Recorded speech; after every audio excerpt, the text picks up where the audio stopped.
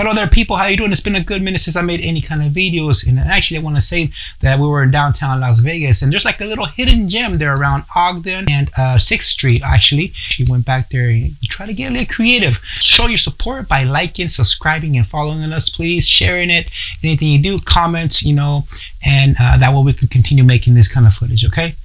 Thank you. God bless.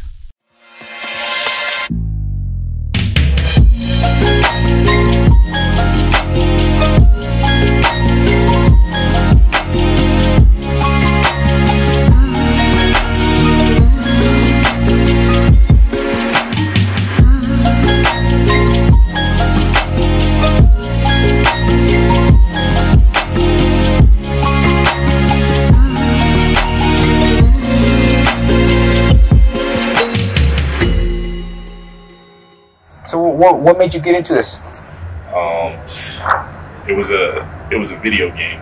I was always into comics. I always loved, loved to draw, and all my life I wanted to do comic books. The original writers can be inspired Yeah, by video that's games. cool. And there's this woman who I know very well. She runs a basically this um, uh, community outreach organization called Caridad.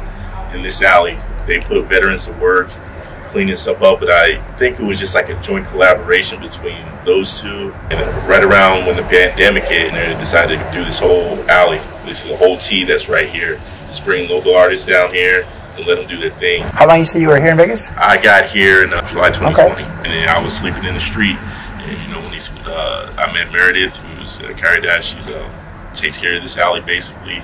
Take take care of this place, clean it up, get veterans off the street. Okay. Do a lot of cool stuff, man. How'd you get permission to sit here? Uh, there, all this stuff was pretty much up for grabs. People were coming in, uh, doing their thing, and this was open. Nobody had done anything with it yet. And uh, when a friend of mine was in charge, going to be uh, in charge of this whole thing, he was basically going to be like a director. This was supposed to be an ongoing thing. Yeah. You know, certain artists uh, have come down and just kept on doing it and doing it. Others have drifted away, and you know they don't do as much. But you know, I like- I've always liked drawing and keeping it myself Yeah, definitely. my work uh, to myself. And this is, was a very different thing. But I'm at the point where I'm just like, I don't care. I don't care if I mess something up. I don't care what people think about it. You know, Stay your I passion. Get out, yeah, I gotta get out. Stay your passion. thing, Yeah, All right, man. passion of mine. Yeah. Well, thank you for uh, thank you for talking with me for a minute, man.